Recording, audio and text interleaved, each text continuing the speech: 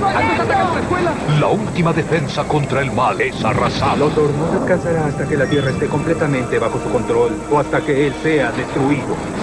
Pero tres sobrevivientes están listos para enfrentar. Nadie me dijo que habría Power Rangers. Es un nuevo tipo de poder.